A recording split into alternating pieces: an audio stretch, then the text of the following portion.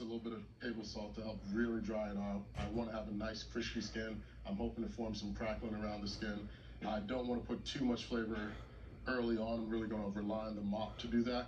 And then the mop is where I can really start bringing stuff out with some red wine or apple cider vinegar, uh, some chili peppers, some chili flakes. The pit's already burnt out. Ideally, I want to run it about 225, 250. I've got it dying back down to around the cook temp for the brisket. Brisket, I'm going to toss it on the uh, bottom portion of the leg and let it ride throughout the night. And what temperature are you planning on cooking it? Going to run it at about 250. Uh, don't plan on doing a hot and fast cook. And uh, 250 degrees yes, ma'am. on a 17 pound brisket. Yes, ma'am. We might have to bump the temp up. Uh, Miss Sylvie says you might have to bump the temp up a little bit. We just got to see what happens. Okay. They're so worried about the whole hog that they forgot the brisket. I mean, it's eight hours left. Neither one of them got their briskets on yet. And brisket takes longer. And we got them some big old 17 pound packers. takes me 14 hours to cook them. Tina says she's gonna do a hot and fast. Okay, show me.